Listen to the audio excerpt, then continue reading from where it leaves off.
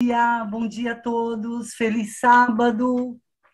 Quero dar um bom dia aqui para todos que estão na sala do Zoom, os nossos queridos que estão pelo YouTube nos acompanhando e os, e os queridos que estão pelo Facebook. Já quero pedir que vocês permaneçam conosco. Como sempre a gente diz, mas é verdade, eu creio que vocês sabem disso a lição a cada semana tem nos surpreendido. Uma mensagem maravilhosa, né, com ensinos maravilhosos para esse tempo que nós estamos vivendo. O nosso Deus, ele é um Deus de providências, queridos. Ele é um Deus provedor. E ele tem nos provido, né, de ensinamentos maravilhosos, nos dando força para nós passarmos por esses momentos que nós estamos vivendo. Então, eu quero fazer esse pedido a vocês, que vocês permaneçam conosco, que eu tenho certeza que vocês não vão se arrepender. Eu creio que vocês vão gostar muito. E já quero lembrá-los que, de qualquer maneira, a aula ela fica gravada. Vocês podem acessá-la na playlist do YouTube a qualquer dia da semana, a qualquer momento. E também vocês podem enviar para alguém, né? Para algum querido de vocês, para algum amigo, para que eles possam também participar. Vocês podem compartilhar. Qualquer dúvida sobre isso, sobre o link, eu estou à disposição.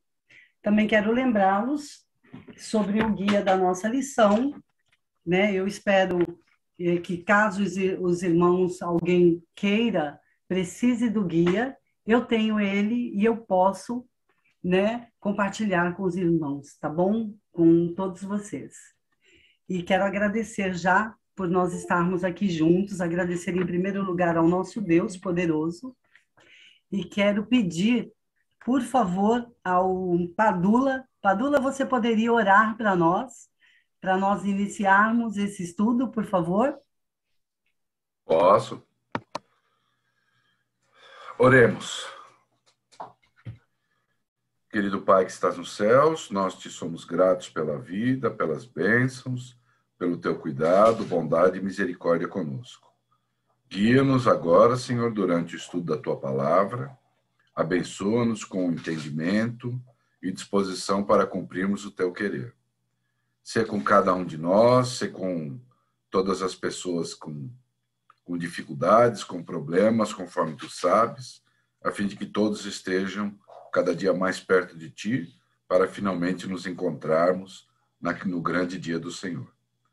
Dá-nos entendimento e sabedoria, mais uma vez eu te peço, e disposição para cumprirmos o Teu querer e a Tua vontade.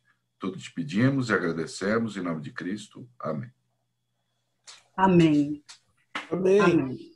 Queridos, hoje né, é, nós sabemos que o pastor Silas e o Éder ele não, o Éder não está conosco porque ele foi acompanhar o pastor Silas, né? Para estar junto da família da nossa querida irmã Carmen, que vai nos deixar muitas saudades. Mas que também nós cremos e temos a esperança no nosso Senhor Jesus, que em breve estaremos todos juntos. Então hoje o Éder não estará aqui conosco por esse motivo. Quem vai nos direcionar na lição hoje é o De Paula, e um pouquinho antes do De Paula começar, De Paula, você me permite, né? eu sei que essa parte é o Edmilson que faz a permissão, né? Mas eu vou te pedir um, um tempinho que eu só quero ler é, uma introdução que está aqui no auxiliar da Escola Sabatina. Eu vou ler para vocês e aí depois o De Paula ele inicia. Pode ser assim, De Paula?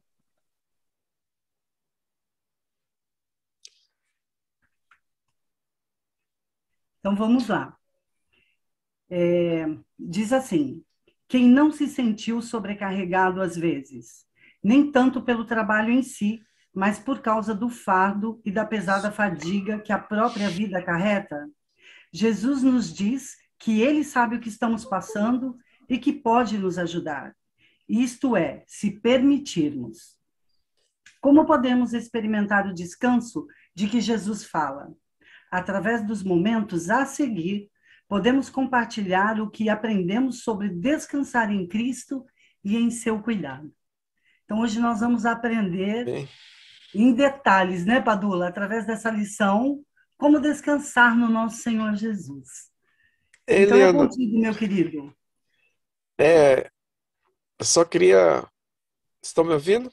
Estamos sim, Zé Filho, pode falar. Ah, sim. Não, não, é só para fazer um teste, se estar me ouvindo bem e desejar um feliz sábado a todos. Muito obrigada, um feliz sábado para você e muito obrigada por você estar aqui conosco participando dessa lição, Zé Filho. Muito obrigada. Amém. Nós todos. De Paula, é contigo. Ok, bom dia a vocês, bom dia a quem está nos assistindo aí pelo YouTube, pelo Facebook. Um bom sábado a vocês todos e que a gente possa realmente não só é, estudar ou, ou, relembrar o que essa lição trouxe, mas viver intensamente, porque esse é o desejo que Jesus tem, né? Para que nós possamos ter mesmo a iniciativa de colocar os nossos fardos na mão dele.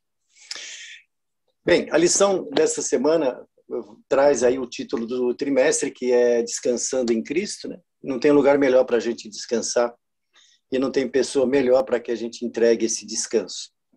E efetivamente a lição dessa semana ela está falando venham a mim, né? E eu queria aproveitar e ler esse maravilhoso convite e muitas vezes até não entendido por uma grande maioria das pessoas que tentam resolver seus próprios problemas, né? Com sua força, mas nós estamos disponibilizado aí, está à nossa disposição a força divina. E está lá em Mateus capítulo 11, versículo 28, que diz, né? Venham a mim todos vocês que estão cansados e sobrecarregados, e eu os aliviarei. É, esse é um convite extremamente profundo, maravilhoso, e com certeza o nosso Deus ele espera que a gente tome posse desse convite. É, entrar dentro do que a gente traz dessa semana da lição, eu fui atrás aqui de lá no comecinho no Éden, né? Quando aquele casal maravilhoso, Adão e Eva, eles viviam num local totalmente perfeito, né? Criado por Deus com muito amor, com todo carinho. Durante sete dias, Deus, eh, durante seis dias, desculpa, Deus criou aquilo perfeito, entregou para o casal. Mas chegou um momento que esse casal quis ir muito além, né? E permitiu que o pecado entrasse naquele meio. E a partir daí, a gente tem na Bíblia, lá em Gênesis, uma frase muito forte, né? Entrasse naquele meio. Acho que tem alguém com o microfone aberto aí. Mas o que eu quero dizer é o seguinte: disse Deus a Adão, depois que ele pecou: Com o suor do seu rosto comerás o teu pão. Essa é uma realidade que pós-pecado aconteceu. E daquele momento em diante, os fardos da vida começaram a ser arrastados por cada um de nós. Originalmente, nós somos filhos de Adão e Eva e a gente está vivendo um momento que é exatamente aquela, aquele pronunciamento divino. Né? E quais são os nossos fardos hoje? Trabalho excessivo, as pessoas trabalham excessivamente, doenças, a gente está vendo aí um mundo cheio de doenças, violências, preocupações, tragédias, umas sucedendo às outras, e também pandemias. A gente está vivendo aí uma pandemia de quase é, dois anos e a gente sabe muito disso. Né? E, na verdade, o que, que acontece aqui? Que o convite de Jesus é para nos ajudar aqui nesse momento. A gente está falando hoje, né, embora a gente tenha um histórico, que a lição muitas vezes se refere, mas a lição ela serve para nos situar nesse momento que nós estamos vivendo. E o convite de Jesus para nós é ajudar a carregar esse fardo. E é interessante que o convite que Jesus faz hoje de trazer, de nós levarmos os fardos a ele, é diferente dos líderes da época de Jesus, né? Porque no, no, os líderes da época de Jesus diziam às pessoas para irem e obedecerem o que Moisés havia transmitido. Vocês têm que obedecer, essa era a colocação dos líderes, né? E isso aumentava muito o estresse, né? A preocupação das pessoas, porque era muito complicado fazer tudo aquilo que era exigido ali pelos, pelos fariseus. Né? Mas, na verdade, vem Jesus e diz assim: venham a mim. Né? Porque, gente, a verdadeira salvação está em Cristo Jesus. Né? É, ir a Ele é confiar totalmente no descanso espiritual que encontramos naquele que irá nos doar daqui a pouquinho a vida eterna. Isso é uma promessa maravilhosa. Seja qual for hoje o problema que você estiver vivendo, seja qual for o fardo que você estiver carregando, não se esqueça desse convite irrecusável que tem em Mateus capítulo 11, versículo 28, é, onde Deus diz aí, vinde a mim. É. Aproveitando também a parte aqui de domingo, fala, eu os aliviarei. É. E essa promessa de alívio, gente, como é interessante o alívio. Você já teve alguma coisa te apertando que você quisesse se aliviar? Ou uma dor física, ou uma dor sentimental? Como é interessante esse alívio que você sente. Né? Você tem que ter esse alívio. Venham a mim quem está sendo convidado. Quem que está sendo convidado nessa, nessa situação para ir a Jesus Cristo? Né? Olha, pessoas agradáveis, pessoas que convergem comigo, pessoas que traz alguma lembrança agradável. Se esse convite fosse feito por cada um de nós, esses seriam os requisitos. Nós não teríamos querendo convidar para ir à sua casa nenhuma pessoa que fosse desagradável a você. Ninguém jamais sentaria na sua mesa se não trouxesse alguma alegria em estar conversando com você ou te visitando. Mas esse convite não é feito por ser humano. Esse convite ele é feito por Jesus Cristo, né? É totalmente diferente do convite humano. Por quê? Porque o Senhor Jesus ele chama pessoas que são totalmente diferentes, tanto em caráter como em vontade, diferentes da vontade de Jesus. Quem ele está chamando aqui agora são pessoas que realmente é, não seriam, às nossas vistas, merecedoras de nada. Jesus Cristo está chamando pessoas que muitas vezes são exploradores ou são pessoas exploradas. E ele não está pedindo para que a pessoa se arrume antes de ir a ele, ou faça isso ou faça aquilo. Ele está chamando para vir a ele do jeito que ela estiver. Porque na presença dele, tudo será transformado. E é maravilhoso esse convite de aliviar e vir, e vir de a mim. Eles se somam, né? Porque você, é, o ser humano, muitas vezes, a gente sabe disso, vocês sabem muito bem disso, ele olha muito o externo, né? Porque não tem poder de olhar o coração. O poder de olhar o coração é só de Jesus. É? Então, Jesus, quando olha para cada um de seus filhos, ele não vê o que essa pessoa é, mas o que ela poderá ser nas mãos deles, sendo transformada. Então, por isso que ir a Cristo é render-se a Ele. E o que, que é render-se a Ele? É reconhecer que sem o Senhor Jesus, nada cada um de nós poderemos fazer. Sem Ele não tem como. Você pode ser é, se sentir mal realizado com o que quer que seja, mas era uma coisa contínua e não te traz paz.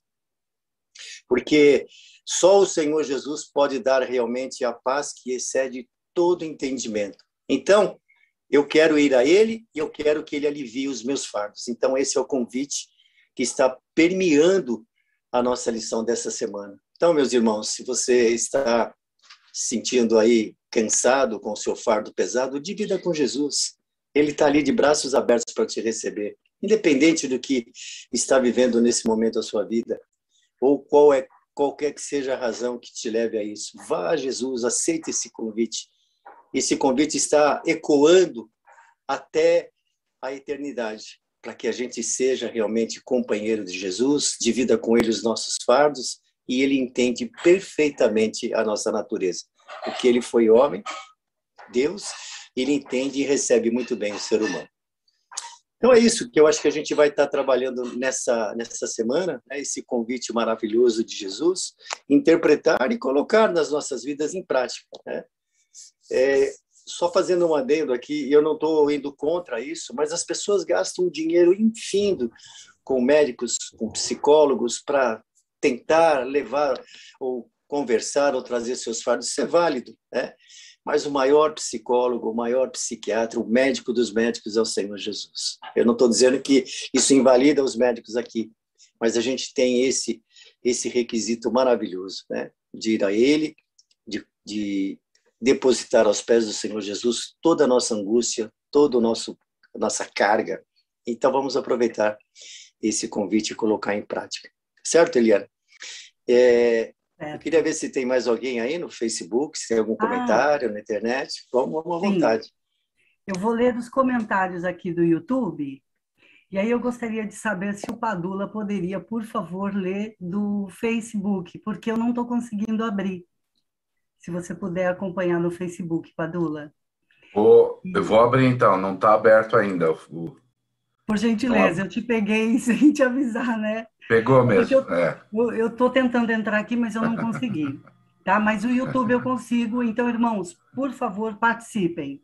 Eu vou ler todas as suas, tudo que vocês escreverem aqui no YouTube e o Padula ele vai é, ler no Facebook. E, De Paula, uma coisa que eu gostaria só de comentar, enquanto você estava fazendo a introdução, e o que me dá um grande alívio no meu coração, um alívio na minha vida, sempre foi é, algo que eu aprendi, que nós podemos ir ao nosso Deus da maneira que estamos, da forma que estamos, né? Então, muitas vezes eu, eu imaginava, e creio que muitas pessoas pensam assim, que para chegarem ao Senhor Jesus, nós precisamos mudar. Se temos vícios, precisamos largar o vício, né? Se temos é, costumes que sabemos que precisam ser mudados, é, só que não temos forças para isso, então a gente fica esperando acontecer alguma coisa para depois irmos ao Senhor.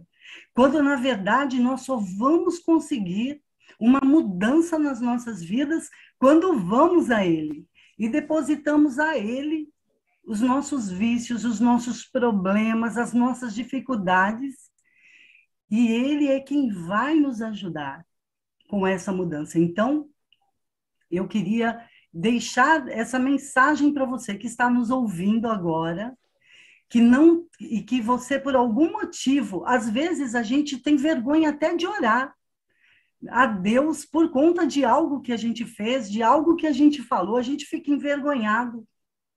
Mas eu quero dizer para você que vá ao Senhor, fale com ele, independente de qualquer situação se coloque a sua situação, se coloque diante dele, porque ele vai te ajudar a resolver. Então, o Senhor Jesus, ele diz para mim e para você que nós podemos nos achegar a ele da maneira que estamos. E isso é um dos maiores alívios, maior alívio que eu senti no meu coração quando eu soube que eu poderia chegar ao Senhor da maneira que eu sou, pecadora, errante, com os meus problemas, e que só Ele, só Ele pode nos ajudar. É um alívio, queridos. Era isso que eu queria falar. E agora eu vou ler as mensagens aqui, começando com a Raí, que ela disse que o culto né, foi eh, uma bênção, né? E que a graça do Senhor esteja com todos. A Vivian Almeida também responde que foi uma bênção. A Nira Santos diz assim: bom dia e boa lição. E a Raí deixa, deixa aqui um, um comentário para nós. Nossos sentimentos né, para todos os familiares da irmã Carmen. Jesus volte logo. E a Patrícia é, nos deseja um feliz sábado para todos os professores. A Patrícia Molizani. O Maurício e, e, o Iago e a Simone nos desejam um feliz sábado e que Deus abençoe a todos. E Alice Maria, conhece Edmilson? Alice Maria, conhece? Junto Minha digníssima. A sua digníssima querida Alice, nossa querida irmã Alice, diz assim: juntos em mais um estudo da lição. Glória a Deus por isso. Não sei se o Padula já conseguiu acessar o Facebook. Se você conseguiu, Padula, por gentileza. Consegui, consegui. É... Aqui no Facebook, como tinha pouca gente, eu, eu adicionei um comentário aqui. Walter Padula, bom sábado a todas e a todos. É, a Cateia também também falou. tive que inventar, né, Gerson? Não tinha, me pegaram de surpresa, tive que ficou inventar. Muito bom, ficou muito inventei, bom. Precisamos... não fico parado, não. Assim que é bom. Ó, isso mostra, Padula, como nós estamos envolvidos mesmo na lição. É. Não é? Isso mesmo. Ô, Padula, é. Padula, você me fez lembrar agora o que o Mário Celso falou: trocar o pneu do carro com o carro andando. É isso aí. É, é isso aí, é isso aí. eu sou militar, rapaz, eu tenho que fazer as coisas, eu não posso ficar parado, não. Mandou, eu faço. Mas vamos lá, vamos lá. É, fora esse, esse, brilhante comentário do Walter Padula, a Caté Herculano também está com a gente aí. Feliz sábado a todos, na paz do Senhor Jesus. Marcos Magalhães, um abraço a todos os irmãos. Ele é lá da igreja de Jales. É, só porque eu falei, ó, começou a aparecer. Viu? Francisca Pedrosa, feliz sábado. É isso daí, Eliana. Feliz sábado a todos que estão nos acompanhando pelo Facebook. Fiquem à vontade, façam seus comentários. E também entrou aqui a nossa querida Jaiete. Feliz sábado, irmãos. Saudade de todos. Jaiete, que bom, que bom que você está aqui conosco. Feliz sábado e permaneça aqui conosco, por favor. Então vamos lá, irmãos. O Marcos, acho que tem aí, ele queria falar alguma coisa. Por favor, Marcos. Eu queria fazer só um comentário breve. Ele parece ser muito óbvio, né? Mas a irmã Eliana destacou muito bem. Na lição da semana passada, nós vimos Davi indo a Jesus, logo após ter pecado. Então, se quando eu sou um adúltero e sou um assassino, eu posso ir a Jesus, Todos nós podemos ir a Jesus. E aí fica para aqueles que talvez não entendam isso. Né? A gente é sempre amplo o estudo da lição. Como eu vou a Jesus? Jesus está nos convidando, venham a mim. Mas a pergunta é: como vou a Jesus? E eu me lembrei hoje de manhã da experiência de Zaqueu, né? Zaqueu foi a Jesus e foi aliviado por Jesus. Como Zaqueu foi a Jesus? A gente sabe que Zaqueu era de baixa estatura, ele subiu numa árvore, né? E ficou ali esperando Jesus passar. O cego, Bartimeu, ele ficou gritando: Jesus, filho de Davi, tenha compaixão de mim. Ele foi a Jesus assim. Mas nós hoje, no nosso tempo, eu posso ir a Jesus, como a irmã Eliana destacou, me ajoelhando e clamando pela intervenção dele, sem medo. Jesus conhece toda a nossa vida. Ele conhece os nossos pecados, ele vê os nossos pecados. E nós podemos ir a Jesus simplesmente nos ajoelhando e confessando os nossos pecados e clamando pelo seu auxílio. E uma outra forma importante de irmos a Jesus é que todos os dias temos a oportunidade, através do nosso guia de estudo, de irmos a Ele, de ouvirmos a Sua voz.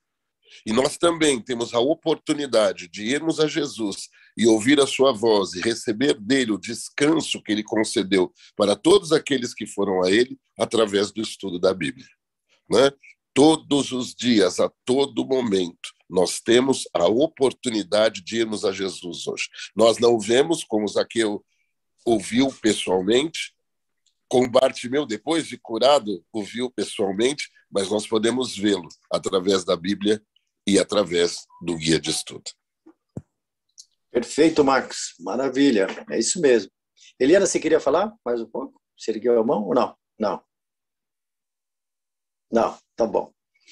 Muito bem. É, avançando um pouquinho, lá no capítulo 11, no versículo 29 a 30 de Mateus, há uma ordenança de Jesus. Né? Ele, por que, que ele ordena tomar o seu jugo logo depois de entregar a ele os nossos fardos e encontrar o verdadeiro descanso?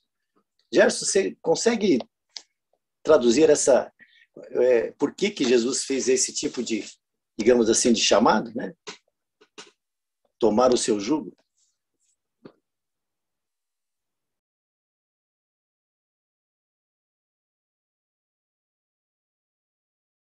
Está desligado o microfone, Gerson.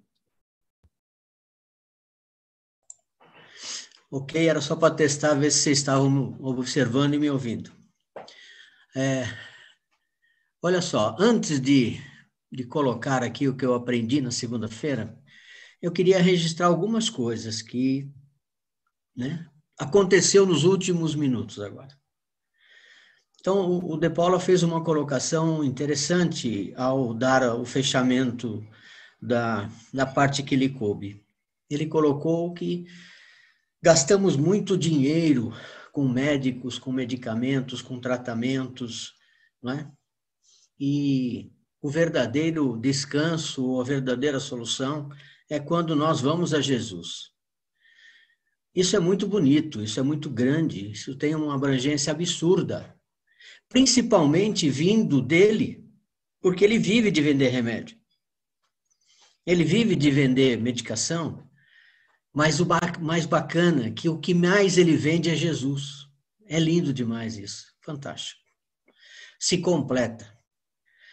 Outra coisa que logo na sequência aconteceu aqui também, que é importante a gente dar destaque e pôr realmente em evidência, é que a Eliana, ensaiando ao vivo, como sempre acontece aqui, passou a incumbência para o Padula. E o Padula não estava ligado na, nos 220 que ele sempre foi. E ela, brilhantemente, como líder que é, como uma serva de Deus preparada, ela ficou fazendo comentários para dar tempo dele a reagir. Aí ele entrou lá e criou e todas. Percebe que coisa interessante, como uma coisa vem puxando a outra e como uma coisa vai aliviando a outra. O que aconteceu aqui, há minutos atrás, foi exatamente o que a lição nos ensinou que Jesus pede: venha, venha a mim, venha, que eu vou aliviar, calma, está tudo certo. Vai dar tudo certo, vai dar tudo certo. E seguindo, então, na segunda-feira, é, sobre a, a, as palavras de Jesus, vinde a mim, né? É, o que eu poderia dizer aqui para vocês? É um monte de coisa que eu anotei aqui para falar para vocês. Mas, assim, ó, a lição 5 do nosso do trimestre, a lição 5 desse trimestre aqui, cujo tema dela é o descanso em Cristo, quem é que não precisa e não busca e não almeja descanso, né? Se qualquer esforço que se faz é em busca de um descanso, de algo melhor. Esta semana a motivação foi aprendermos a descansarmos em Cristo. E nesses dias meditamos é, nessa, nessa expressão de Jesus. Venham a mim, e o texto base desse estudo é Mateus 11, 29, completando o convite de Mateus 28 que o De Paula já tinha destacado. E diz assim: Tomai sobre vós o meu jugo e aprendei de mim, porque sou manso e humilde de coração. E aí achareis o descanso para a vossa alma. E o verso 30 completa isso. Porque o meu jugo é suave, o meu fardo é leve. Jugo, vamos falar um pouquinho aqui, vamos pensar, vamos relembrar jugo. Jugo é uma peça feita de madeira que é utilizada para unir dois bois, para que andem no mesmo compasso enquanto puxam um arado ou uma carroça. É também chamada de canga ou junta de bois. E essa é uma imagem que a gente tem bastante. Né? Cada um aqui, com certeza, já, já teve chance de ver isso ou pessoalmente, ou imagens, né? Dois bois andando juntos, preso por uma trava grande de madeira. Julgo era uma espécie de forca, por baixo da qual os romanos faziam passar os inimigos vencidos nas batalhas. No sentido figurado, julgo significa submissão, obediência, autoridade, domínio, opressão, sujeição, sujeição, em alguns países que cultuam o islamismo, é claramente observado o pesado jugo a qual são submetidas as mulheres. Dispensa comentários, né? Os escravos também viviam sob o jugo do seu senhor. E no sentido religioso, o jugo é uma opressão que uma pessoa carrega quando está dominada pelos seus próprios problemas. Enfermidades, vícios, dívidas, enfim, uma série de coisas. É, segundo o, o, texto básico de hoje, 11, 28 a 30, Jesus chama todos que estão oprimidos para irem até ele. Venham para mim todos vocês que estão cansados e carregados, ah, cansados de carregar o peso do fardo de vocês, e eu lhes darei descanso. Carreguem a minha carga e aprendam de mim, porque sou manso e humilde de coração, e vocês encontrarão descanso para suas vidas, porque a minha, car minha carga é suave e o meu fardo é leve. Na segunda-feira aprendemos três orientações para quem desejar experimentar o verdadeiro descanso. A primeira é ir. Tem que existir a necessidade e a disposição de ir. Não dá para esperar. Você tem que tomar a decisão e ir a Jesus. O pecador deve ir a Cristo com, como única solução. É a única solução. João 6,37 diz assim: Todo aquele que o Pai me dá, esse verá, virá a mim, e o que vem a mim, de modo nenhum os lançarei fora. Vá, vá a Jesus, porque ele não vai deixar de te atender. A segunda é tomar. Uma atitude. O, o perdoado deve carregar as bênçãos com a sua, com a sua missão é tomar a missão de Jesus, aprender dele para exercer e trabalhar ao lado dele. Mateus 5,16. Assim brilhe também a vossa luz diante dos homens, para que vejam as vossas boas obras e glorifiquem ao vosso Pai que está nos céus. E a terceira, aprendizado, aprender. O aluno deve crescer em comunhão com sua santificação. Hebreus 12, 14 fala assim: segui a paz com todas, se, segue, segui a paz com todos e a santificação, sem a qual ninguém verá o Senhor. O pai e o filho, gente, trabalham juntos, unidos para salvar a humanidade. É, embora o jugo simbolize uma submissão, é também uma metáfora, metáfora que ilustra um propósito unido. Submetendo-nos ao seu jugo, aceitamos a tarefa que ele nos deu para abençoar os outros. Não estamos levando o seu jugo, estamos apenas unidos a ele porque o seu jugo é suave e o seu fardo é leve. Quando lemos a afirmação de Jesus, aprendam de mim, o que devemos aprender é o discipulado. O discipulado que Jesus faz conosco. Aprender está ligado ao termo discípulo.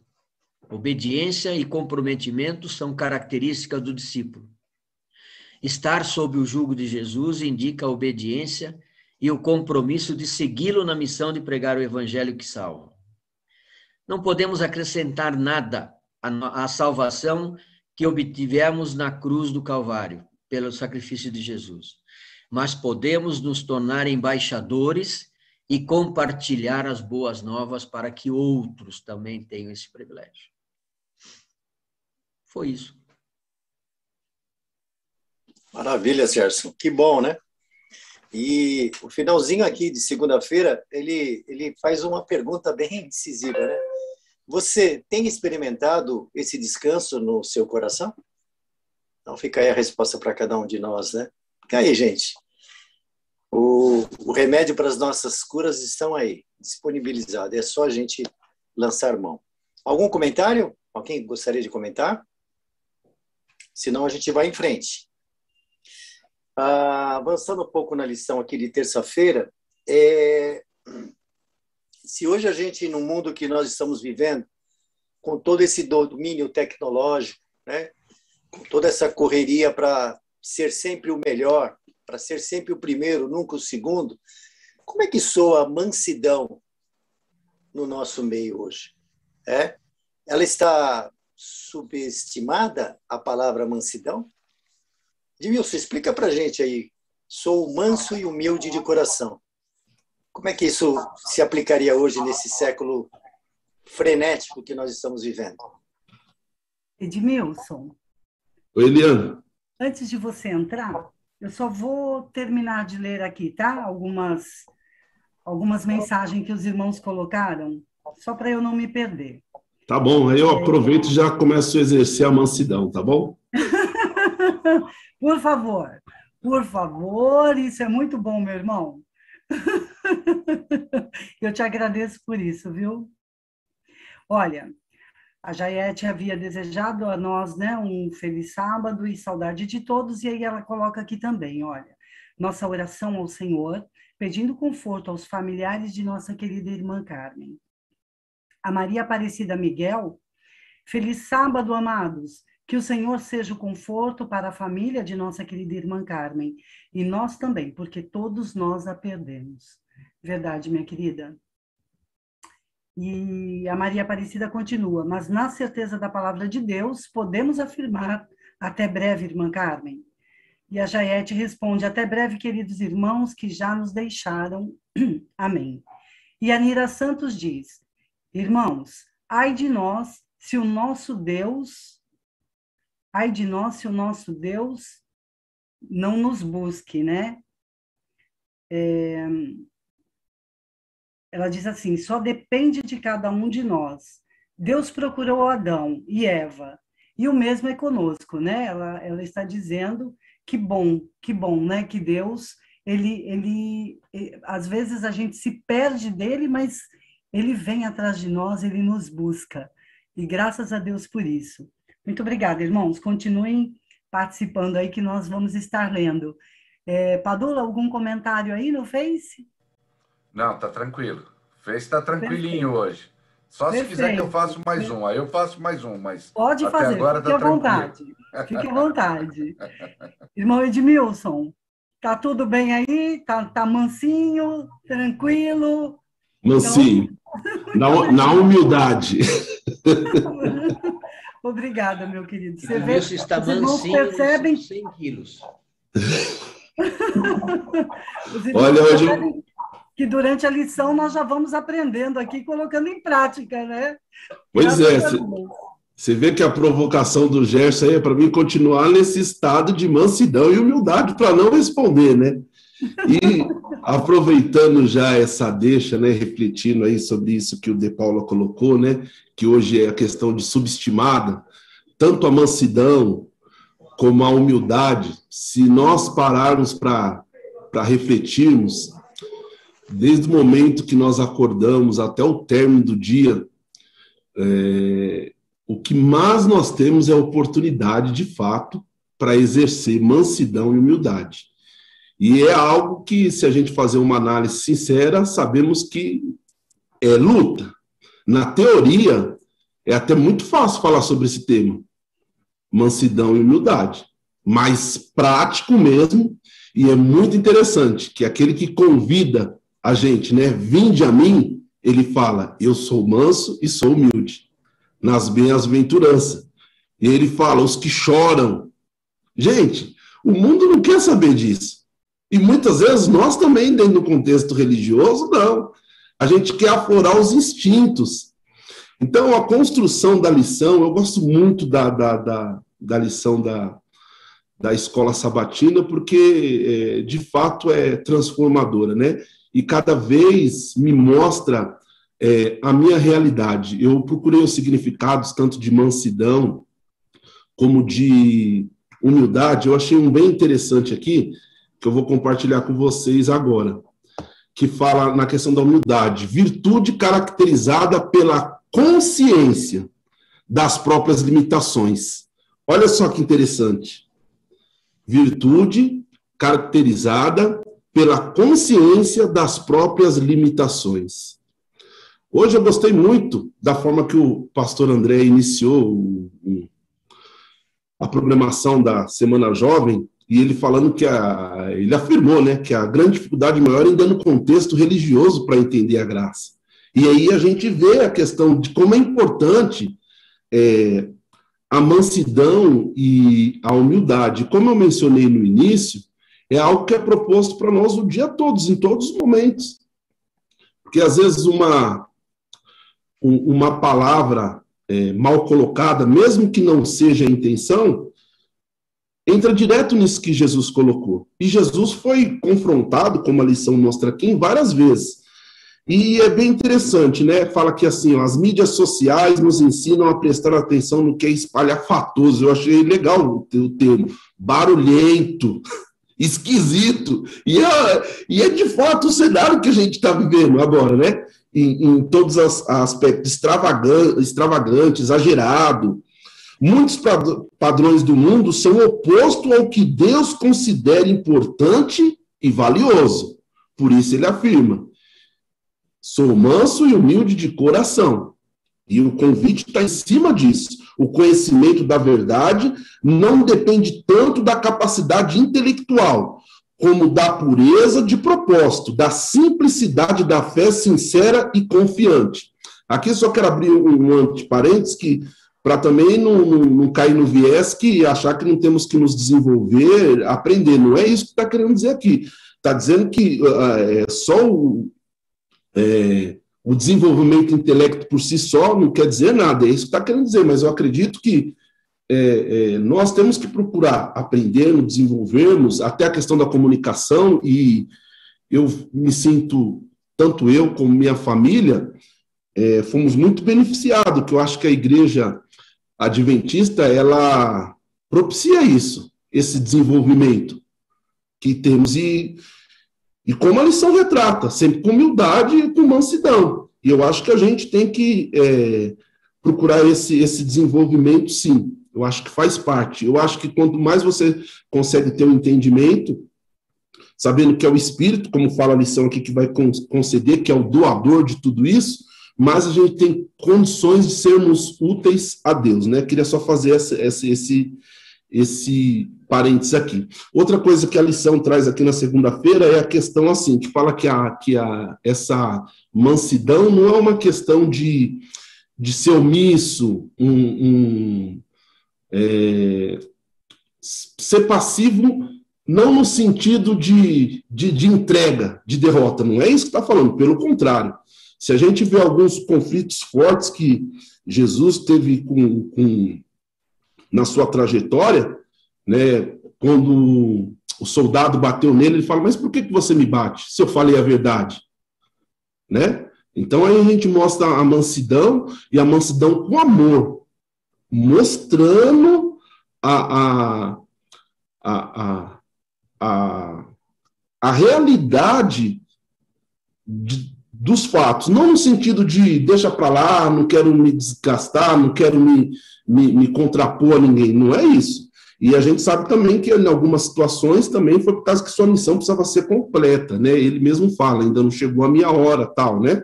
E a lição começa a discorrer, fala isso, fala de Moisés, e aí no final lá chega num, num, numa característica, eu grifei aqui algumas partes, né?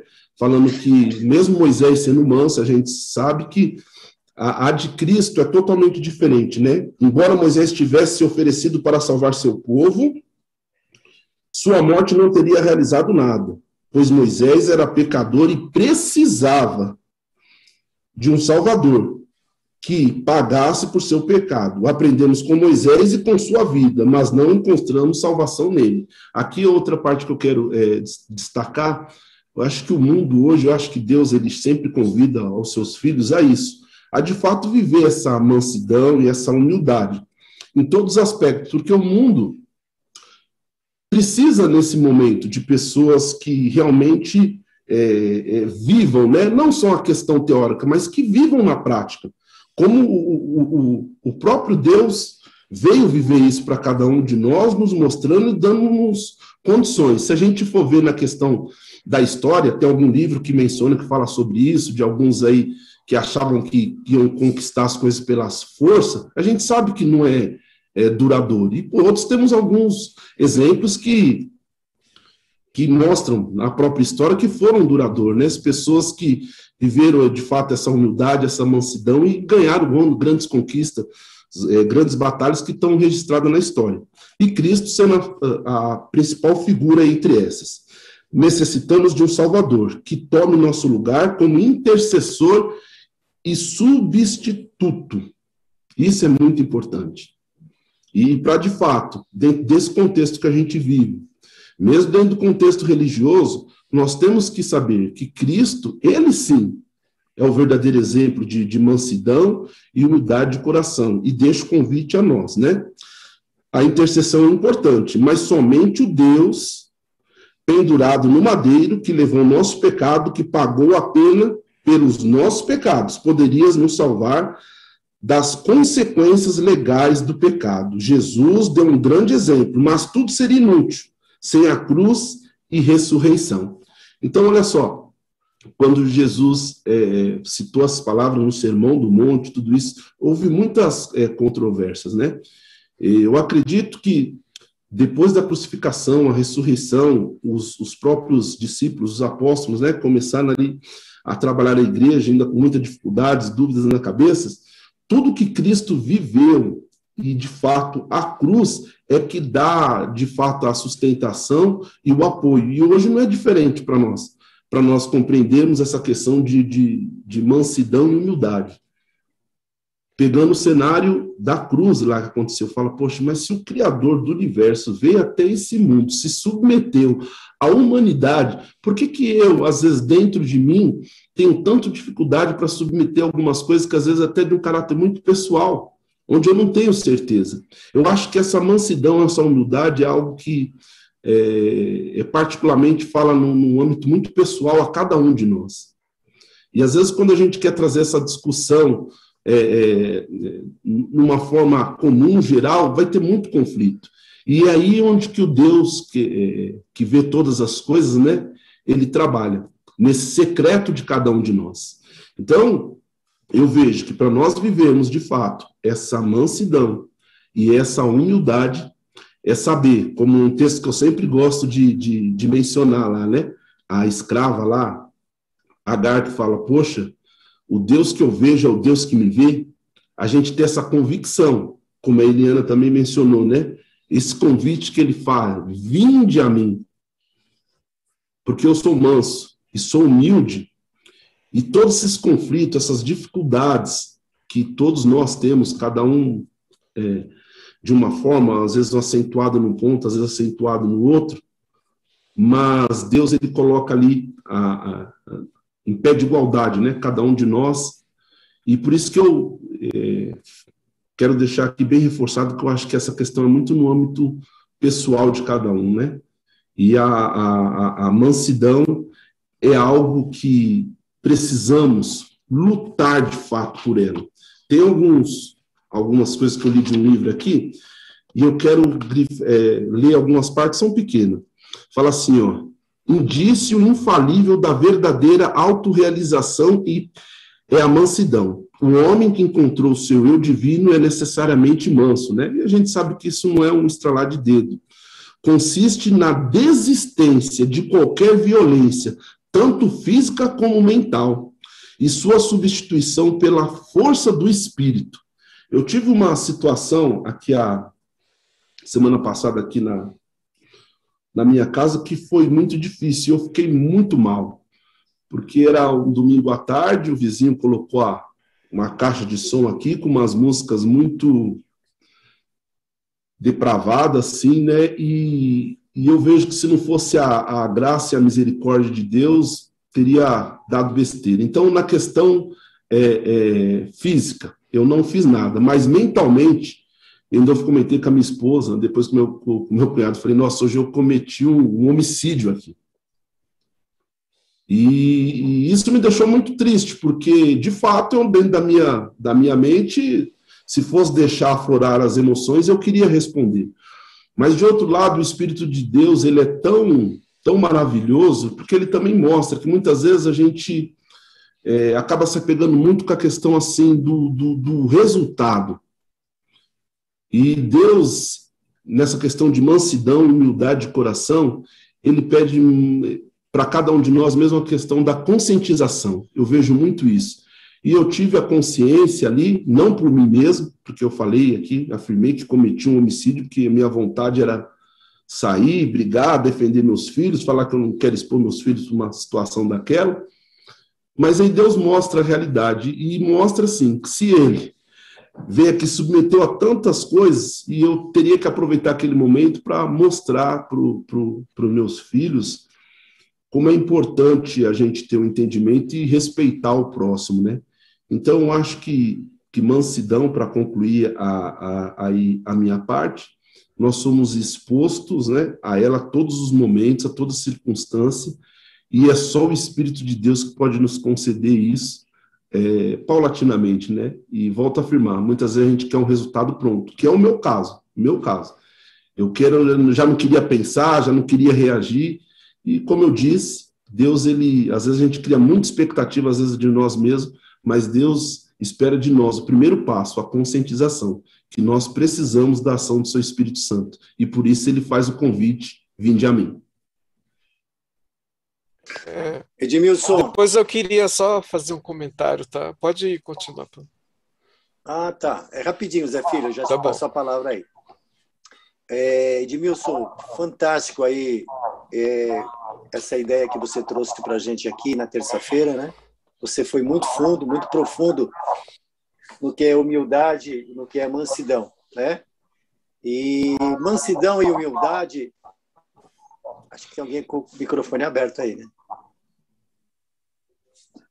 Mansidão e humildade, o nosso guia de estudo traz aqui uma coisa que é impactante. A ideia que o mundo que nós estamos vivendo hoje traz mansidão e humildade são de pessoas arrojadas, né? Os livros de, de autoajuda, né, seculares, dizem que você realmente tem que ser forte, passar por cima de todo mundo, né? O mais forte sempre vai engolir o mais fraco. Mas olha que o guia de estudo traz aqui, inspirado por Deus, mansidão e humildade são traços de pessoas fortes. Hoje, para você ser manso e humilde, você tem que ser uma pessoa forte. Né? Somente os fracos realmente são aqueles que são impotentes, que, são, que, que, que querem determinar aquilo que fazem, mostrar sua força através disso, através daquilo. Mas parabéns aí pela sua decisão. Não é fácil aguentar um desaforo, tem que ser com muita oração para mostrar a humildade e a mansidão que nós temos, que não é deixar de, de ir atrás dos nossos direitos. O manso e humilde não vai negligenciar os seus direitos. Mas quando ele fizer isso, será com toda a consciência e com todo o cristianismo. Pode falar, Zé Filho. É, justamente nessa linha, né? Porque o, a, a humildade é uma característica fantástica né, do cristão. E é você considerar é, o próximo até superior a você, né? E a gente vê o contraste. Jesus, Deus, se fez homem, né? Humilde. E a gente vê o, o Lúcifer, o Satanás, que era uma criatura, queria ser Deus, se exaltar. É, e, e, olhando para o lado também da, da humildade, da mansidão, é, o que eu quero dizer é que ser manso, ser humilde, né, isso não é sinônimo de fraqueza, né? Como você também já comentou aí. Que muita gente que pensa que ser humilde, ser manso é a pessoa ter que ser saco de pancada e ter que aguentar tudo calado, né? Ou ser um broco. Mas não é isso. O texto do, do que o acho que foi o Edmilson que leu ali no em São João, é, e também a gente vê várias posições que Jesus tomou, e Jesus não era uma pessoa fraca. E naquele termo ali que ele tomou a bufetada, que foi um abuso de autoridade do, do, daquele guarda ali, né? Como foi que Jesus se comportou? Ele ficou quietinho ali, não falou nada? Não, ele não fez isso. Ele disse: Ó, oh, se eu fiz alguma coisa errada, não prove que eu errei. E se eu falei a verdade, por que você me pune? Então Jesus não ficou quieto. Ele não pagou o mal com o mal, que aí seria o errado, né? É, eu já ouvi uma. É, eu ouvi uma experiência e o cara ele estava dando uma palestra de venda, então ele alguém ele pisou no pé de alguém é, sem querer e aí a pessoa. E ele pediu desculpa, automaticamente ele pediu desculpa. E aí a pessoa falou: que desculpa que nada. pof em cima do pé dele. Então, isso aí que seria o, o errado, você pagar o mal com mal, o mal com mal. Jesus não se comportou dessa maneira, mas também ele não ficou, é, ele não foi ali saco de pancada, ele falou realmente, ele se posicionou, na verdade. Né? E a gente vê outras situações que Jesus se posicionou. Então, ser humilde é como você mesmo disse, é não é um, a pessoa ser um fraco, não se posicionar, mas realmente a, a verdadeira humildade é aquele que se posiciona, né?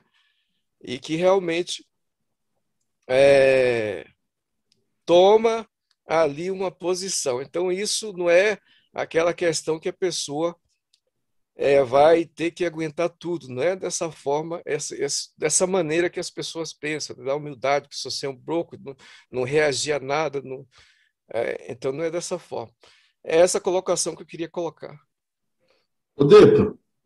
Oi, oi, Edmilson, pode ir. É, eu, rapidinho só, eu lembrei aqui você, na hora que você trouxe seu comentário aí, é, da questão, é, a gente, numa época, trabalhando numa empresa lá que era questão de vendas, né, umas vendas um pouco agressiva, e lá se falava da, muito da questão da filosofia do sucesso de Napoleão Hills, né, e cada treinamento era aberto com essa filosofia, as pessoas que subiam, cada líder lá na frente, tinha que falar com aquela entonação, aquela empolgação, e agora me vem isso à mente, né, que, puxa, já, já cometi várias gafes aqui nesse mundo, que às vezes até motivo de dar risada agora, né, e, e o contrário de tudo, né, porque é, é, aquilo, quantas pessoas não procuram aí, né, Napoleão Hills aí, que essa questão tem vários livros aí, não estou querendo dizer que está errado, estou querendo dizer que vai contra aquilo que que é a vontade de Deus, né? Que fala, se você pensa que é um derrotado, você será um derrotado, se não pensar que era a qualquer custo, não conseguirem nada.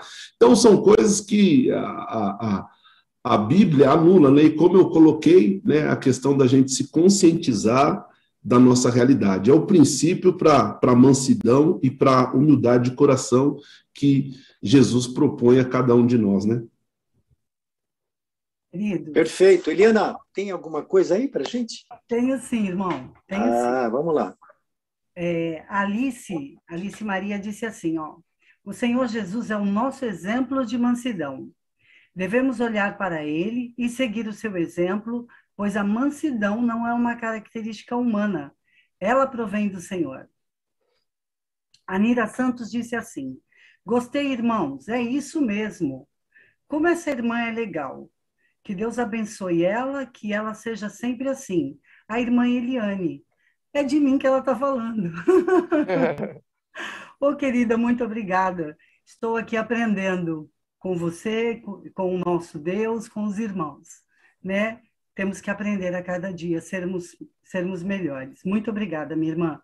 A Cristiane Pina também está aqui. Oi, Cris. Ela diz assim: olha, mansidão é fruto do Espírito Santo. Devemos buscá-lo diariamente. Isso mesmo, irmã. E a Nira disse assim: o irmão já comentou toda a lição, dizendo para o Edmilson, né? Ela, ela viu que essa parte ela foi bem completa. Eu, eu vou ler aqui o nome, eu não sei se está, se eu vou ler certo, se eu estou pronunciando certo. Qualquer coisa, alguém aí me corrija, por favor. É Jová Cardoso, é isso? De Floripa? Eu não sei se é assim, irmão, que, que fala. Jová Cardoso diz assim, ó. Vivemos tempo de graça e de misericórdia para adorar a Deus e estudar sua santa palavra para ir para o reino dos céus. E ele continua aqui, né? Que ele é de Floripa. Eu amo Floripa. Amo, amo. Aí ele continua aqui, ó. Nossas orações, garoto abençoado por Deus nessa geração de adoradores. E por estes dias, Jesus vem buscar a sua igreja. Eu creio, os sinais declaram: Jesus vem buscar a sua igreja. E ele continua: creio que somos livres para adorar a Deus e estudar sua santa palavra para ir para o reino dos céus. Amém, irmão. Louvado seja o nosso Deus. Aqui está tudo ok. E aí, irmão Padula, alguma coisa? Não, aqui O pessoal está tranquilo aqui hoje no, no Facebook. Não estão me dando trabalho, não. Infelizmente. Ai, que bom, né? Não, não é bom, não. Infelizmente, né? Podiam estar Irmãos, por favor, mais. aí do Face, deem trabalho aí para o nosso querido Padula. É. Por favor. Muito bem, é, avançando um pouco aqui, é, Jesus diz e declara que o jugo dele é suave, né?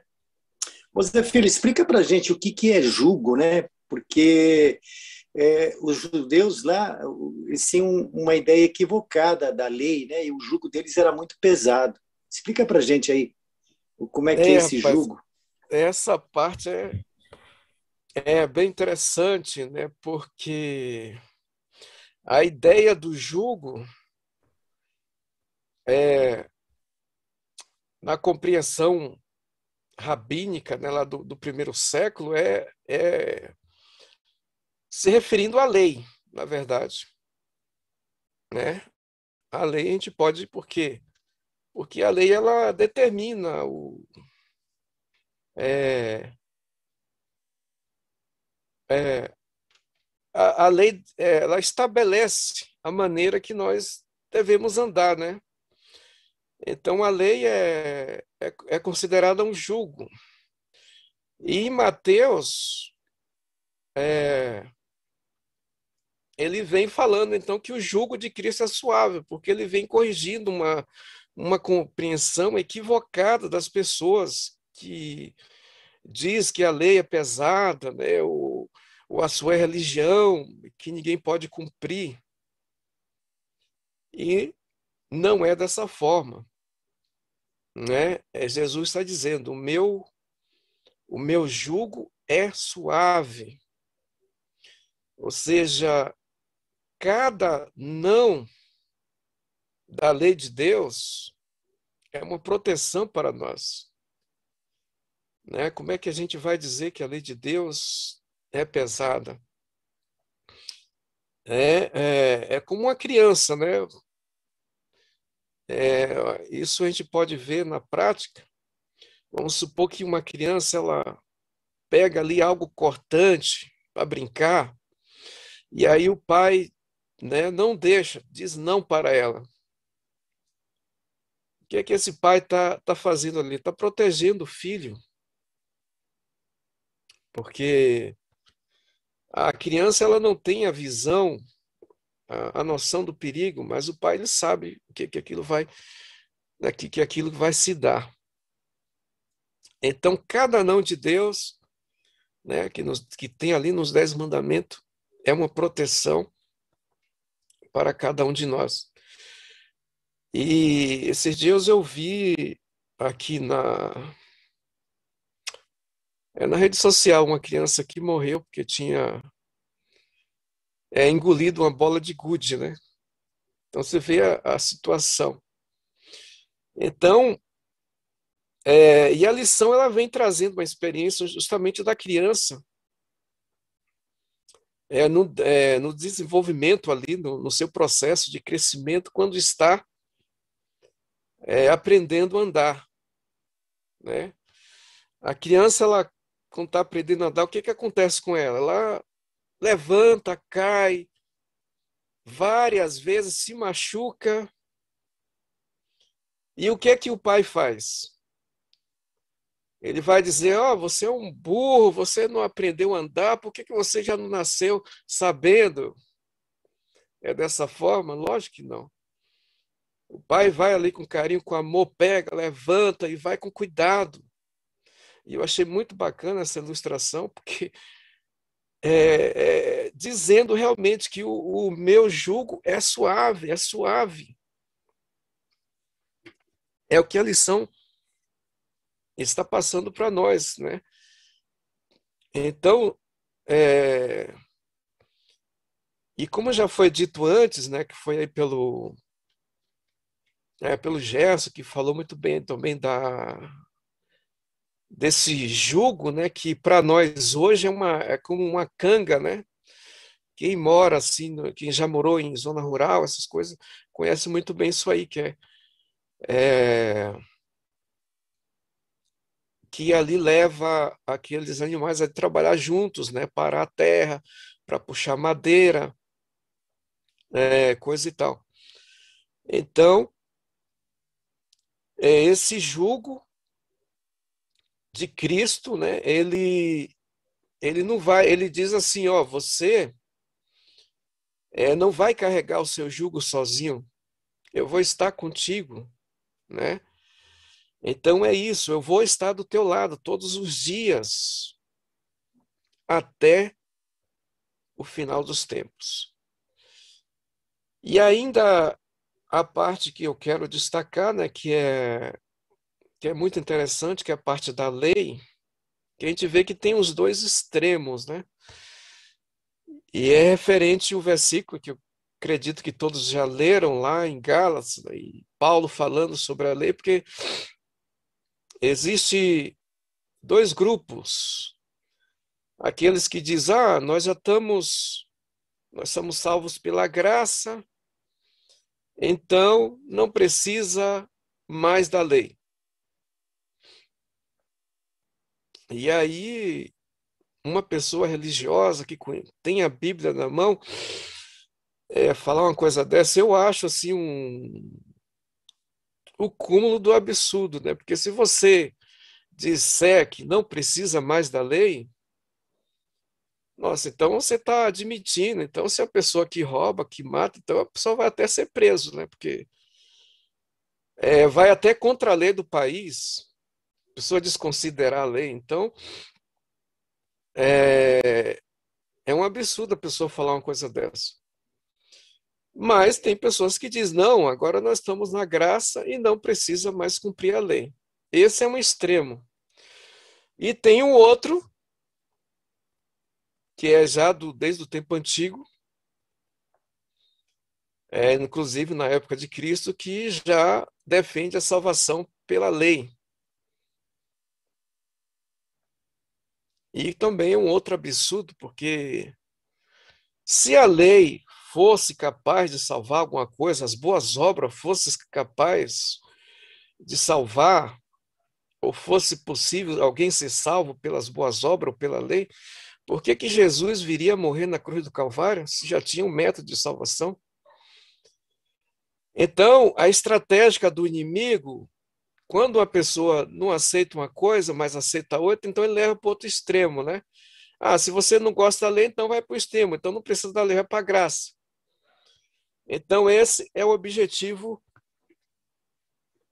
do inimigo. Em Gálatas tinha um grupo de pessoas assim que queria ser salvo pelas obras, e Paulo estava orientando ali acerca desse assunto, né? E para não me estender, eu quero fazer é, a ilustração, é, né? ilustrando aqui como realmente o cristão age, porque qual dos grupos né, que eu citei aqui estão certos? Né? Qual grupo que está certo? Nenhum. Né? Então, qual é o correto? É, vamos supor, um pé de laranjeira, um pé de laranja. É, por que, que um pé de laranja ela dá laranja? Ela dá laranja porque ela é um pé de laranja ou ela dá laranja porque ela é, é afim de ser um pé de laranja? O que que determina? É claro, ela dá laranja porque ela é um pé de laranja. É, o cristão pratica as boas obras porque ele é um cristão. É, é, é consequência das obras, é automático. É o fruto do Espírito. Ele não faz aquilo, ele não pratica as boas obras para ser um cristão. Ele pratica as boas obras porque ele é um cristão. E se ele é um cristão, o fruto do Espírito é as boas obras. Então, é, a graça não anula a lei, o apóstolo Paulo fala isso várias vezes, né? Anulamos, pois, a lei pela fé? Não, de maneira nenhuma, antes estabelecemos a lei. Mas a gente sabe que o objetivo do inimigo é confundir as pessoas e levar a esses extremos. Mas é, e também colocar na cabeça das pessoas, não, é pesado. Não, aqui a, a lição e o tema da, de quarta-feira está deixando bem claro: o meu jugo é suave, é leve. A lei de Deus nos protege. E é isso aí que eu tinha para estar tá passando da quarta-feira. Obrigado, José Filho. Não. Eliana, comentários? Alguém quer comentar alguma coisa? Eu tenho sim, na verdade eu não, né? Estou lendo aqui no YouTube, é um comentário do Celso Martins. Ele diz assim, que depois disso, acho que é preciso acho que preciso trabalhar na minha mansidão. Então vejo que a igreja me ajuda em tudo. Obrigado, classe, feliz sábado. Obrigada a você, Celso, pelo seu comentário. Muito bom. É, estamos quase chegando aí no término dessa lição maravilhosa. E a partir de quinta-feira reserva aqui um, uma coisa extraordinária, né? Porque no mundo que nós estamos vivendo hoje, o que a gente mais tem é fardo para carregar. Né? Nós vimos isso lá no começo da lição. Todos nós temos. Mas o fardo de Jesus é pesado, Eliana? É fácil de levar? Como é que ele é? Olha, o fardo falando em fardo, eu fui também pesquisar, né? Ainda bem que eu pesquisei, porque eu percebi que todos aqui pesquisaram em suas lições, né? E aí, para entender melhor o que é um fardo, né? Diz assim, que o fardo é um objeto ou conjunto de objetos mais ou menos volumosos que se destinam ao transporte de cargas, né? E aí eu peguei um mais simples, assim, que diz assim, é, qualquer tipo de embrulho é, de pacote ou volume que tem um peso mais excessivo. Então, isso é um fardo. E o fardo, ele torna-se leve, né? porque o fardo, geralmente, ele é pesado. Mas ele torna-se leve quando nós compartilhamos. Primeiramente, quando compartilhamos o nosso fardo com o nosso Senhor Jesus, que é o que nós estamos desenvolvendo nessa lição. Né? Quando nós compartilhamos com Ele, seja o tamanho do fardo que for, ele, ele fica muito mais fácil. E, e muitas vezes eu me pergunto, sabe, irmãos é, e, e, queridos amigos, é, imaginem se nós não conhecêssemos o Senhor Jesus né? Eu me faço sempre essa pergunta. Se eu não soubesse que Ele, em sua infinita misericórdia, Ele nos socorre. Mas já imaginaram se nós não tivéssemos esta certeza? Vocês já imaginaram como seria a sua vida se você não tivesse a certeza que você pode pegar, seja qualquer situação que você esteja vivendo, e colocar nas mãos do Senhor Jesus e ter a certeza que Ele vai te ajudar a carregar esse fardo, eu penso que seria impossível viver. Né? E não só penso, como a gente vê isso é, ao nosso redor. As pessoas que, por um motivo ou outro, elas não têm esse entendimento, o sofrimento delas é muito grande, chegando muitas vezes a ficarem muito doentes, muito doentes, ou mesmo acabar tirando a sua própria vida. Porque é muito doloroso você não saber, não ter certeza que este fardo, que este peso que você carrega, seja ele na sua vida sentimental, seja ele na sua vida espiritual, financeira, seja o que for, até mesmo da morte, né? Quando nós é, perdemos o convívio de uma pessoa amada e querida. É, é muito pesado isso para nós, porque nós sabemos que o nosso Deus não nos criou para isso. Ele nos criou para a vida eterna. Então, o fardo, nós só conseguimos carregá-lo se ele for compartilhado. E essa metáfora do fardo aqui, ela tem um sentido, aqui na lição, ela tem um sentido muito interessante. O que torna um fardo leve não é algo que acontece com o fardo em si. Ele se torna leve quando nós compartilhamos ele, né? E aqui na lição a gente, a gente percebe que Moisés ele estava tentando resolver o problema, aquela demanda toda que o povo levava até ele.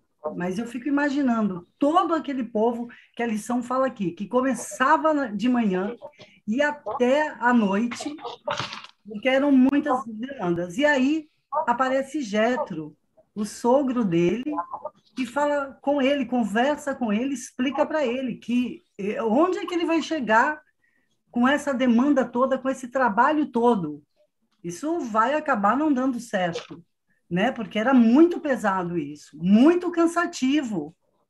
E chegaria um momento que ele não daria mais conta. Então, o que, que ele fala para ele? Ele diz a ele, ele diz a Moisés que é para que Moisés pegue as coisas mais mais fáceis, mais simples e divida com as pessoas que estão ali ajudando, que eles passem, passem a resolver essas coisas. E as mais difíceis, ele vai, fica, fica menos coisas, menos concentradas nele. E aqui na lição a gente vê que ele realmente seguiu esse conselho e ele ficou, é, isso deu certo para ele, ele ficou mais aliviado. Nós podemos ver que o trabalho continuava o mesmo, né? que a carga ela continuava pesada, mas ela era dividida. E isso acabava é, é, facilitando o trabalho dele. Eu costumava dizer com a, com a minha equipe de trabalho o seguinte, que carregar uma pedra é muito pesado. Sozinho, muitas vezes você não, não consegue nem, nem levantar a pedra, quanto mais carregar. Mas quando a gente divide com as pessoas, se todos pegam uma parte, né, levam juntos, vai dar certo. Ou então se a gente dividi-la, né? Então o que que acontece? Fica fica mais fácil. Ela continua sendo uma pedra, ela continua sendo pesada, mas facilita o meio de carregá-la. Então, em tudo, eh, nós podemos fazer assim, aplicar no nosso dia a dia com as pessoas, mas não esqueçam, não importa o tamanho e o peso do seu fardo. Divida ele com o Senhor Jesus. Ele vai te ajudar. Tenha certeza disso. E aqui a gente a gente percebe é, que quando nós nós temos uma rede de apoio, né, irmão? Quando nós conseguimos uma rede de apoio em tudo que nós fazemos, também facilita o nosso trabalho. Isso nos ajuda é, ajudar também outras pessoas, porque às vezes a gente quer fazer tudo sozinhos, a gente quer resolver tudo. E aí a gente pode até resolver, pode, mas não vai ser. É, o, o, final dela não vai ser tão bom como se é, nós tivéssemos dividido, como nós estamos fazendo aqui. Olha, um grande exemplo é, a nossa, é, é a, as nossas aulas.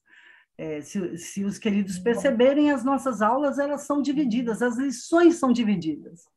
Então, nós temos sempre um professor responsável, que no caso hoje é o irmão de Paula. Mas podem perceber que cada um, né, isso eu, eu, eu divido, eu faço essa divisão semanalmente. Eu divido uma lição por professores, naquela semana que eles possam né, assumir esse compromisso. E aí acaba ficando menos pesado para o professor fazer toda a lição. E aí fica mais, isso fica mais rico, né? Fica, fica melhor, porque cada um tem uma visão, cada um olha a lição de uma maneira. E aí fica mais gostoso fazer assim. Lógico que o De Paula faria brilhantemente toda a lição? Sim, com certeza. Qualquer um que fizesse aqui, porque nós, em primeiro lugar, pedimos ao Espírito Santo de Deus que nos direcione, que nos ajude. Mas ele conseguiria fazer sim. Mas quando nós dividimos, fica melhor para ele e fica bom para todos que estão assistindo e fica bom para aquele professor que tem uma lição apenas, né, para esmiuçar melhor. Então a gente consegue exprimir mais detalhes da lição e passar para todos. Então, isso acaba facilitando. Isso é um exemplo, né? Então, é, a gente precisa procurar sempre, a gente precisa sempre lembrar disso, queridos. Em primeiro lugar, levamos ao Senhor. Né? Levamos ao Senhor o estudo da escola sabatina. Pedi, oramos a Ele e pedimos a Ele o direcionamento. E aí fazemos a divisão das lições, né? Com cada irmão. Vamos perguntando: olha, é possível para você? É possível para você? No finalmente dá tudo certo. Então, que nós possamos lembrar disso, porque aí nós vamos conseguir carregar o nosso fardo o trabalho vai ser o mesmo? Vai ser o mesmo, né? É, o peso vai ser o mesmo? Vai ser o mesmo, mas quando nós dividimos, isso fica facilitado. E aqui nós percebemos o seguinte: a igreja, é, ela, a igreja é o corpo de Cristo. E que, e que maneira que funciona o corpo? Né? O corpo, é, ele funciona da seguinte maneira: cada membro, cada órgão e cada sistema trabalha para o bem de todo o organismo. Quando um membro está fraco ou enfermo, todo o organismo se une em um só esforço para restaurar aquele que está adoecido. O próprio corpo, né? O próprio organismo trabalha para que é, uma parte do teu corpo que esteja adoecida fique bem, fique saudável. Mas há uma união.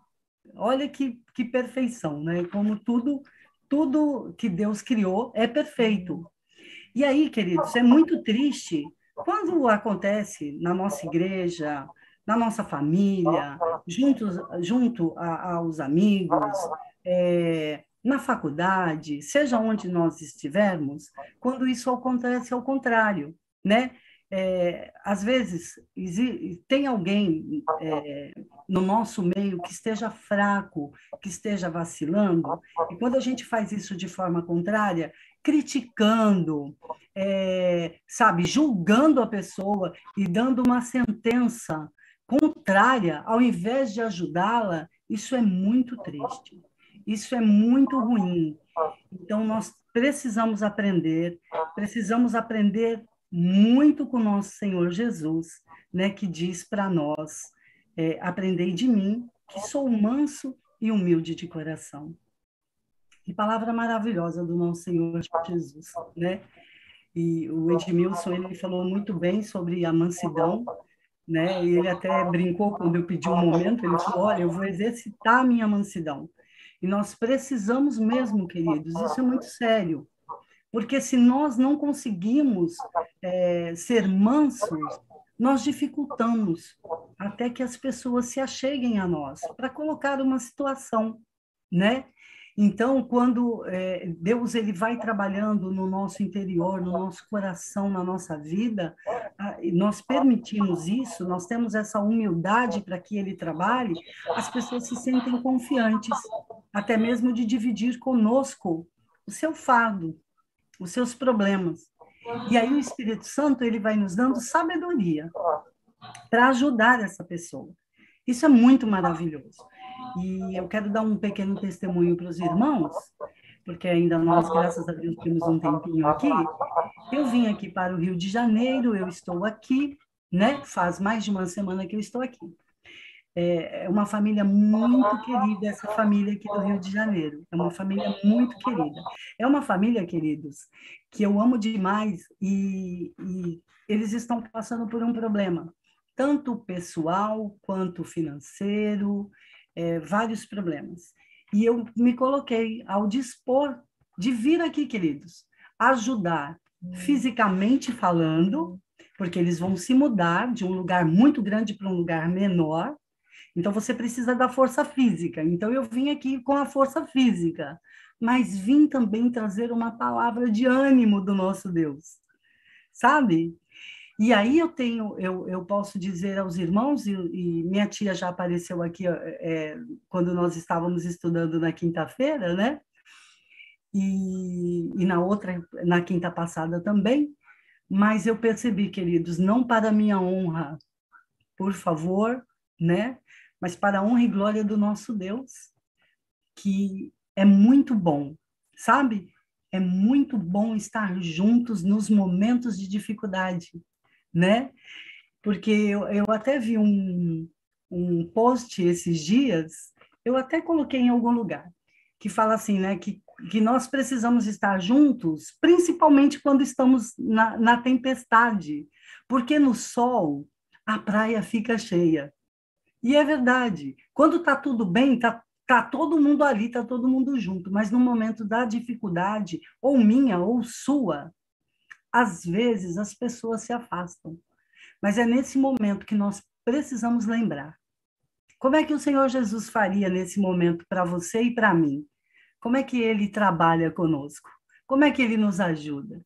Ele nos abraça, ele fica conosco, ele tem sempre uma palavra de acalento, de amor, né, de, de esperança, de força. E aí nós nos levantamos e caminhamos. Então, queridos, eu vim aqui, sabe, com todo o meu amor que o Senhor Jesus colocou no meu coração, porque é, é Ele que coloca esse amor, esse senso, né, de, de ser solidário à dificuldade do outro. Isso não vem de nós, porque nós não temos isso de nós mesmos. Nós carecemos do nosso Deus para isso.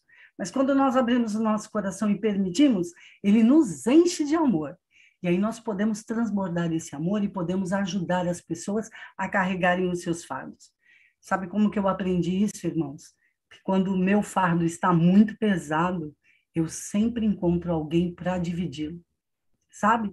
E nessa experiência, eu vi como facilita a minha vida quando eu posso contar com os meus amigos, com os meus familiares, com os meus irmãos em Cristo. Como é bom, queridos.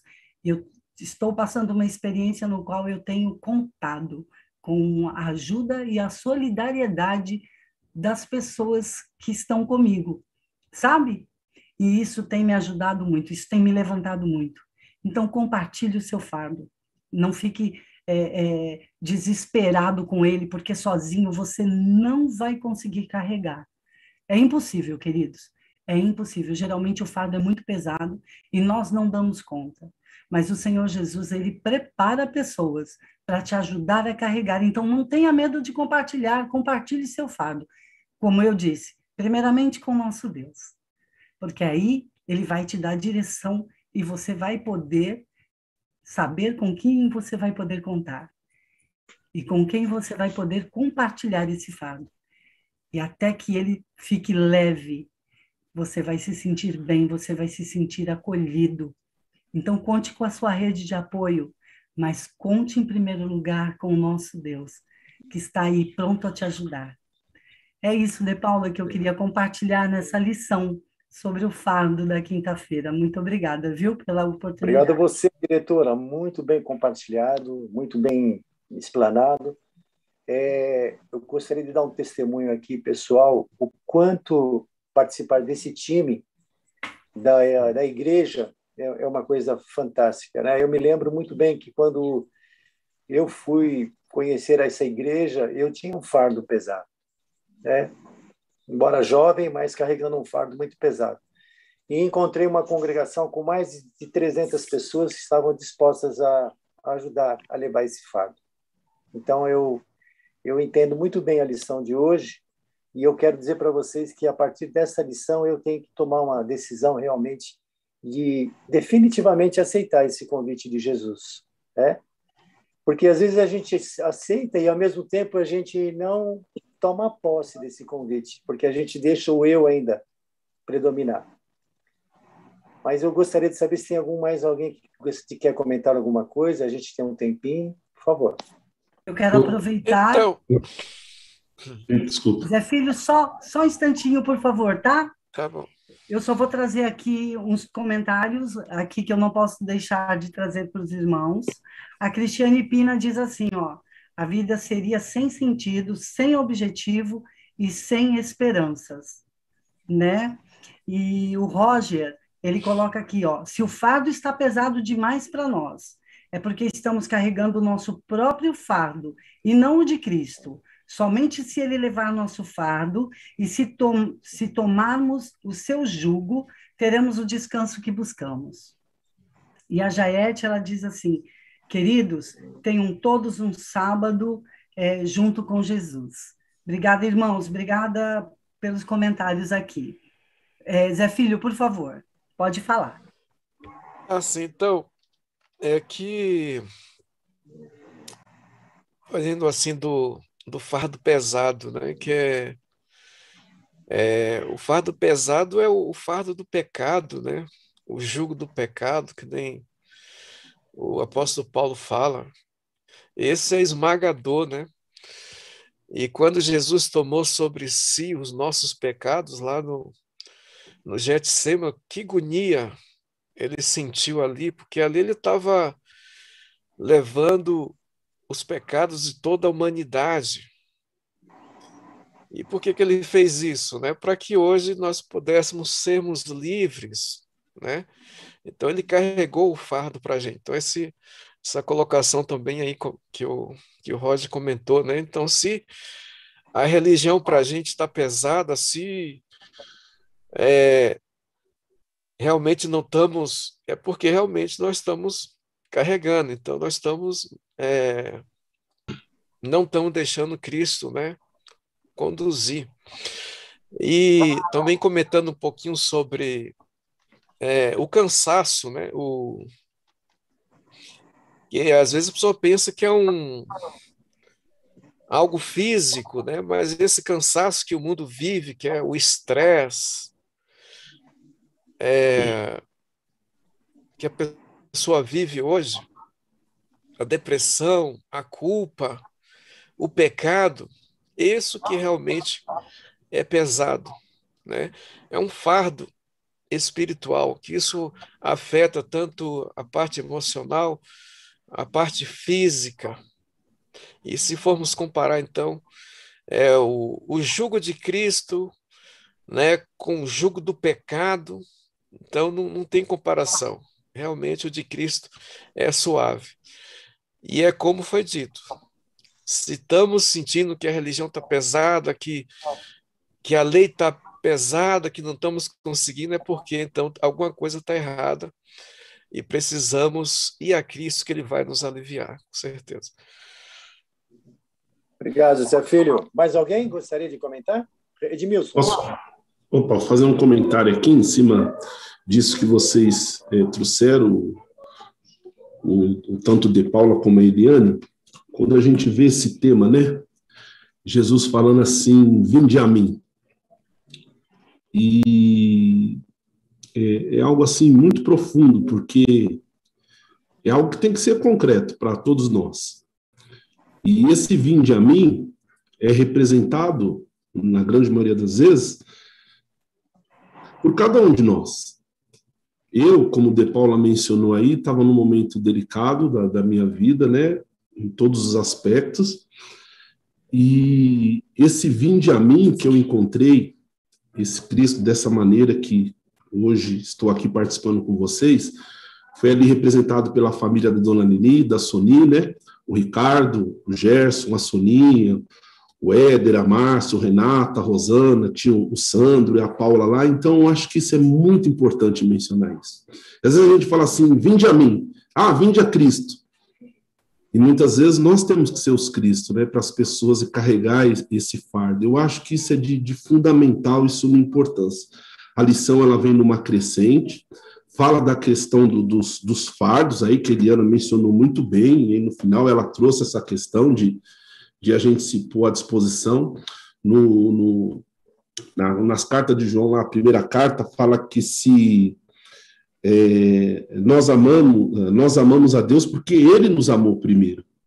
E tem coisas que não tem como sair da, da, da, da sua ordem. A realidade é essa. Nós amamos a Deus porque Ele nos amou primeiro. Ele deu a condição para nós amarmos Ele. E é interessante que no versículo 20 fala assim, ó, se alguém disser ama a Deus e odiar o seu irmão, é mentiroso.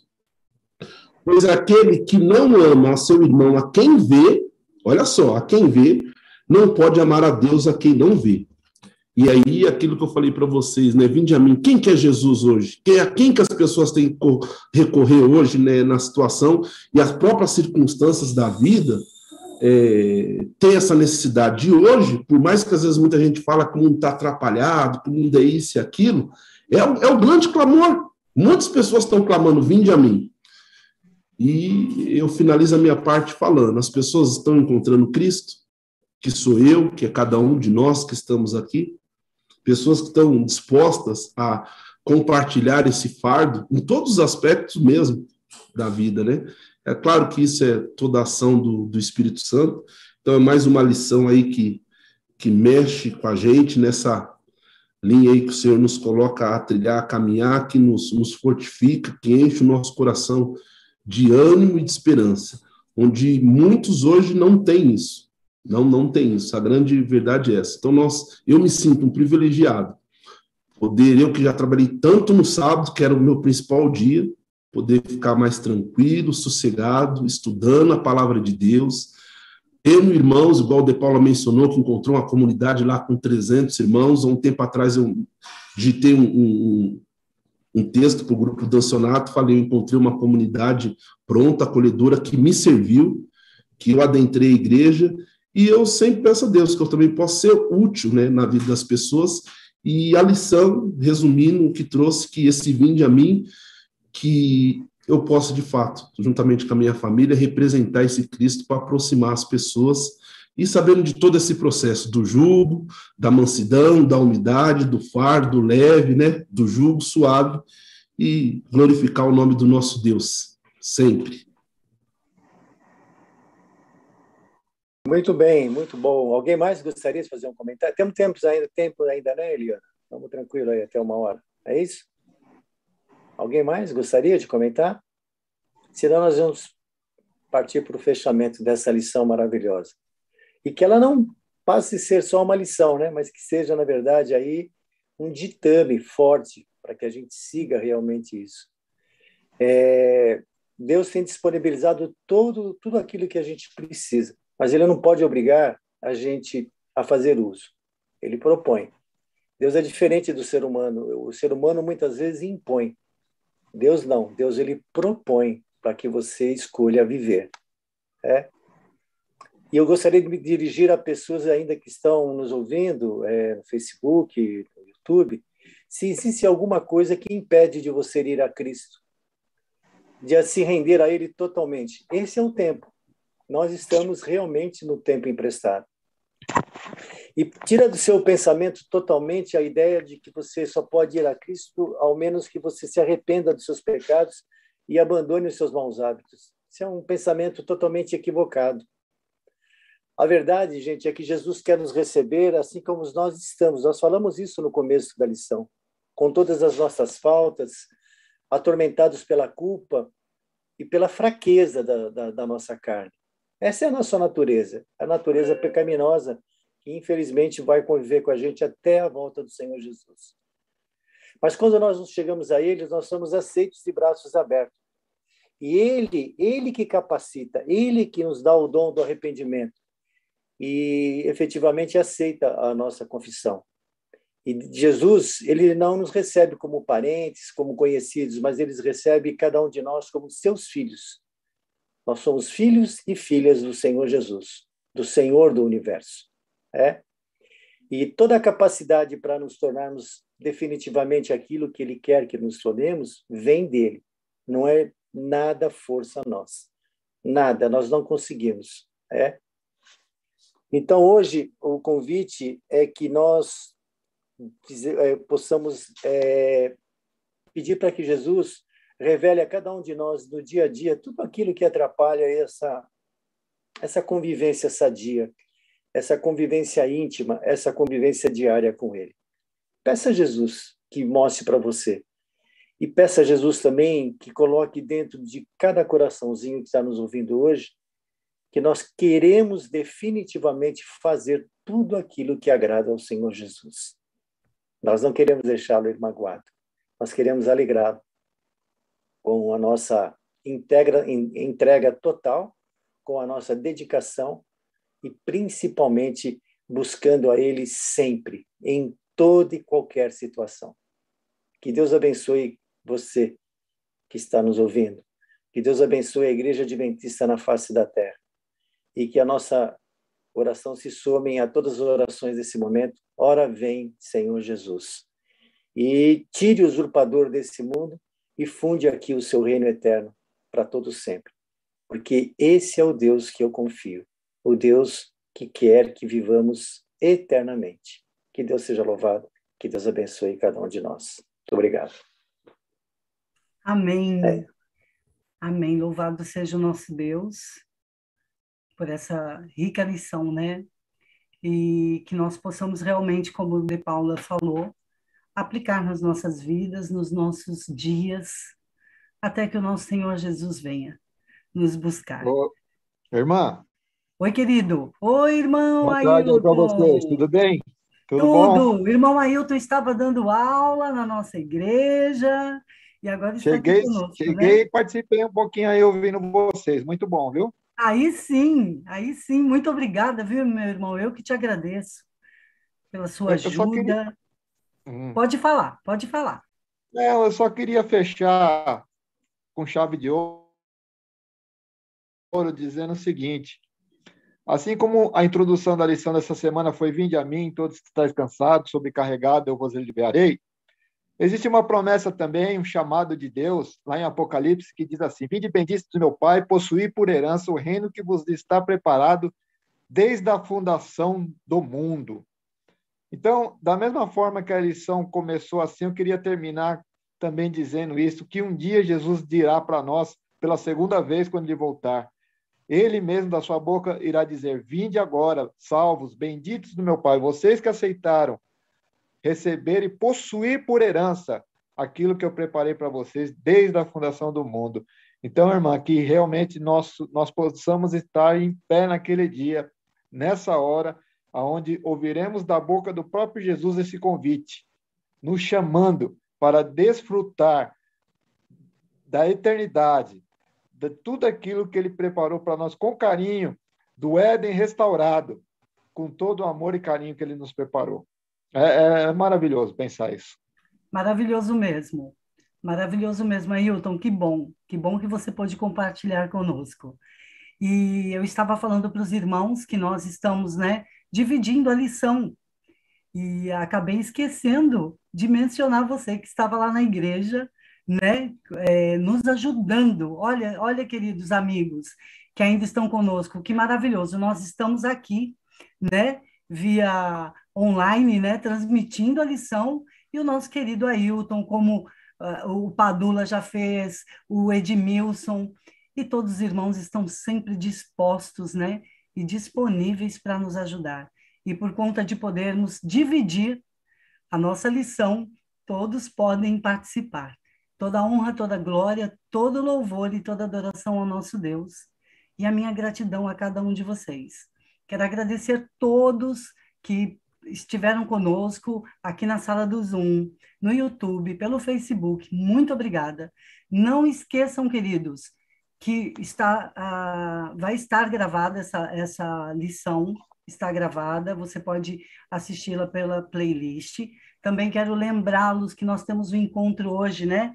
O Roger entrou aqui, acabei eh, vendo aqui o comentário dele, lembrando, nós temos um encontro maravilhoso às 16 horas com o Armandinho, com a lição, né, com a palestra do Armandinho, que tem sido realmente uma bênção, que todos possam participar. E eu quero aproveitar e quero pedir para o irmão Gerson, por favor, que ele faça uma oração para nós finalizarmos essa lição.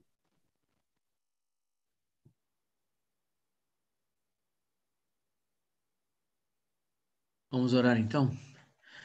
Nosso Deus e nosso Pai, louvamos o teu nome, Senhor, pelos momentos que aqui passamos, revivendo aquilo que o Senhor falou ao nosso coração a cada dia da semana que completaremos ao pôr do sol de hoje. Estamos certos de que o que nos reserva para a semana que se segue, se não for tanto bom quanto, é muito melhor do que aprendemos até aqui.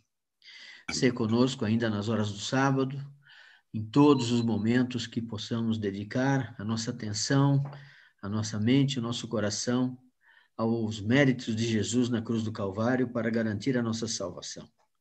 Amém. Ser com cada um que esteve conosco, que nos visitou nesta sala, pelas, pelos canais das redes sociais da igreja, e também aos nossos irmãos que lá estiveram na pregação pessoal, e que em breve possamos estar reunidos em comunidade vivendo o que sempre foi a nossa história de uma comunhão, de uma uh, de um encontro entre amigos e irmãos e com a certeza de que todos seremos cidadãos dos céus, da cidade santa, da Nova Jerusalém preparada no céu.